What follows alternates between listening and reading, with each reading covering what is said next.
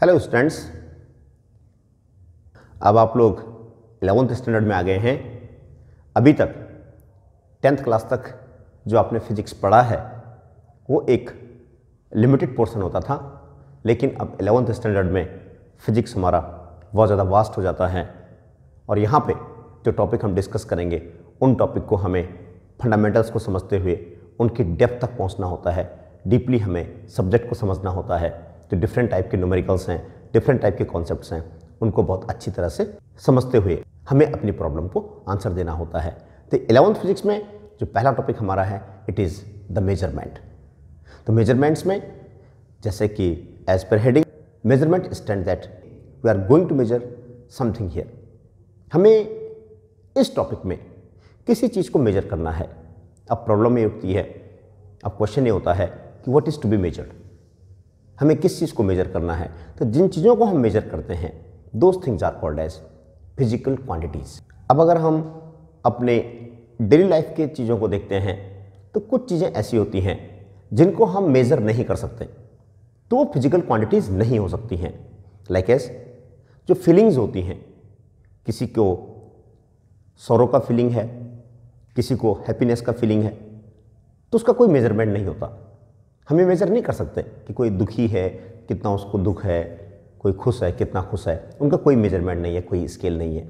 लेकिन other hand पे देखते हैं तो जो डिफरेंट क्वांटिटीज़ हैं, उनको हम मेजर कर सकते हैं। जैसे हमारे पास कोई रूम है, उस रूम की लेंथ कितनी है? ये पेन मेरे पास है, इस पेन की लेंथ कितनी है? इसका डायमीटर कितना है?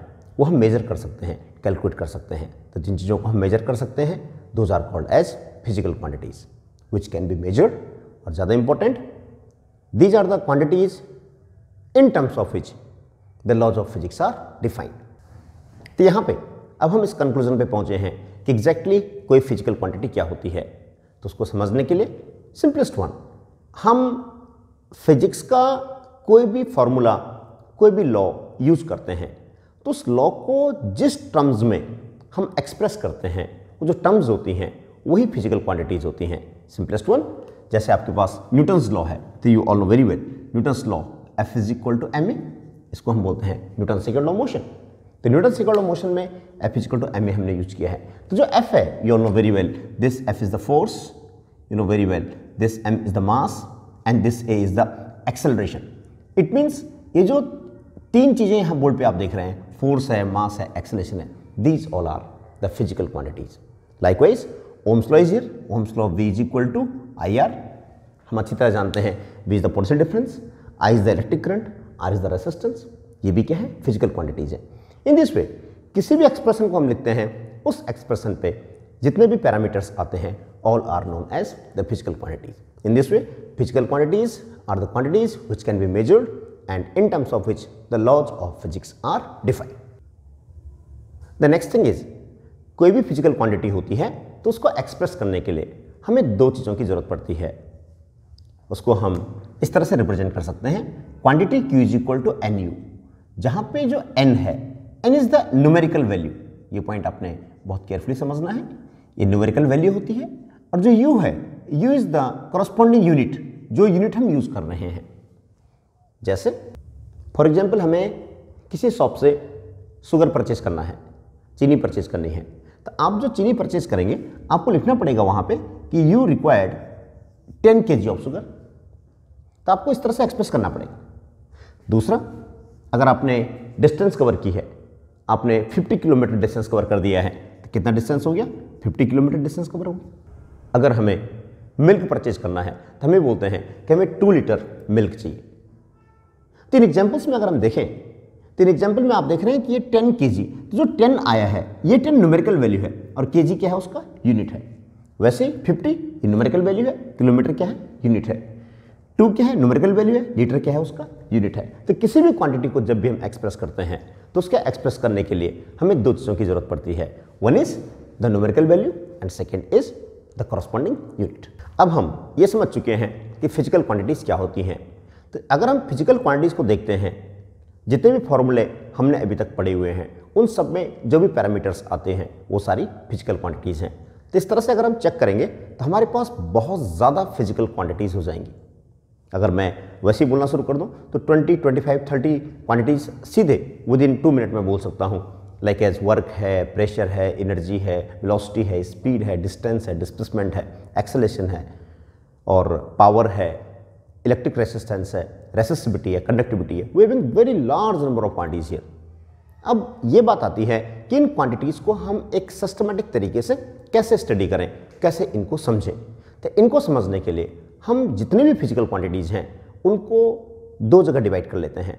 जो एक टाइप की क्वांटिटीज़ होती हैं, उनको बोलते हैं fundamental physical quantities fundamental physical quantities वो क्वांटिटीज़ होती हैं जिनको एक्सप्रेस करने के लिए हमें किसी दूसरी क्वांटिटी की हेल्प नहीं लेनी पड़ती है। वो अपने आप में अब्सल्यूट होती है।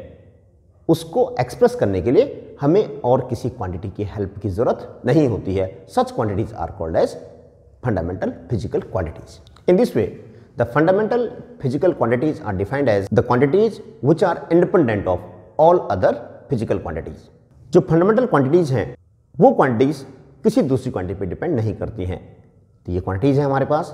Number one length mass time temperature electric current luminous intensity and amount of substance ये ऐसी क्वांटिटीज़ हैं जिनको एक्सप्रेस करने के लिए हमें दूसरी क्वांटिटीज़ की ज़रूरत नहीं है। लाइक एस आपको लेंथ मेजर करना है तो कोई भी लेट इट बी मेरे पास ही पेन है, इस पेन का लेंथ मेजर करना है तो डायरेक्टली मैं स्केल लेकर के सीधे इसका लेंथ मेजर कर दूँगा। मुझे कोई और दूसरी क्वांटिटी मेजर करने की ज़रूरत नहीं है। मुझे इस बात की ज़रूरत नहीं है कि इसका डायमीटर कितना है, या फिर इसका वॉल्यूम कितना है, इसका डेंसिटी कितना है, यहाँ पे टेम्परेचर कितना है, इन चीज़ों की कोई ज़रूरत नहीं है।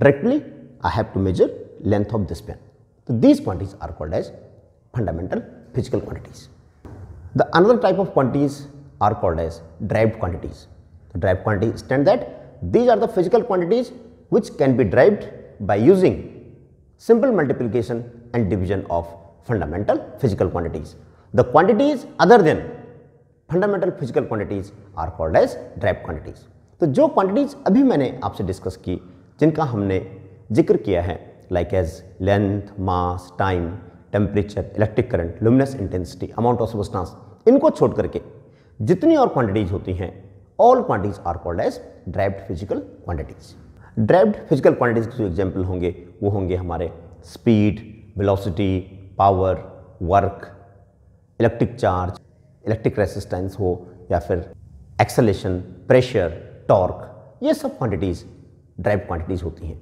इन दिस वे फिजिक्स में हमने टू टाइप की फ़िज़िकल क्वांटिटीज़ को डिस्कस कर लिया है।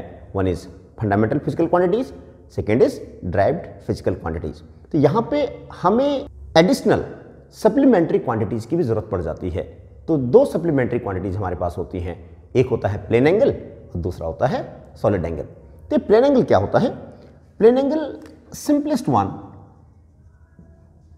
Angle is uh, the simplest one the angle between two lines. ये प्लेन एंगल होता है थीटा इसको हम अच्छी तरह जानते हैं। This plane angle is theta the angle between two lines यही प्लेन एंगल होता है। और जो दूसरी सप्लीमेंट्री क्वांटिटी होती है वो होता है सॉलिड एंगल तो सॉलिड एंगल एग्जैक्टली होता क्या है? सॉलिड एंगल का मतलब होता है angle made by a surface कोई सरफेस हमारे पास होती है और उस सरफेस ने कोई एंगल बनाया है। दिस वन तो यहाँ पे जैसे मैंने ये सरफेस कंसिडर कर लिया है तो इसकी वजह से यहाँ पे जो एंगल बनेगा this angle is called as the solid angle ये बात बहुत केयरफुली समझनी है।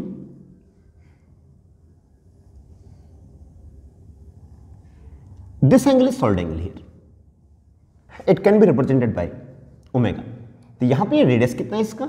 आर है। और ओमेगा सिक्स रिप्रेजेंट कर रखा हमने रेडियस आ गया अरे जो एरिया अंडर कंसिडरेशन है, ये एरिया इज़ डेल्टा ए तो यहाँ पे जो सॉलिड एंगल होता है, वो होता है area upon R square solid angle को हम एग्ज़ाम्पल से ऐसे भी समझ सकते हैं कि जो सॉफ्टी का कोन होता है, उसमें जो एंगल बनता है, वो सॉलिड एंगल बनता है। इस तरह से सॉफ्टी का कोन होता है। दिस वन और यहाँ पे ये जो एंगल बनेगा this angle is called as solid angle ये एरिया कितना हमारे पास? This area is delta A और रेडियस कितनी है इसकी? आर है। तो यहाँ पे solid angle omega is equal to delta A upon R square एक और इंपॉर्टेंट पॉइंट जो प्लेन एंगल होता है, इसका जो मैक्सिमम वैल्यू होता है, वो टू पाई होता है।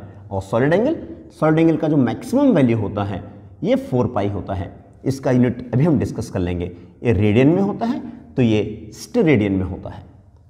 ये four pi steradian unit and two pi इसकी वैल्यू होती है और रेडियन इसका यूनिट होता है।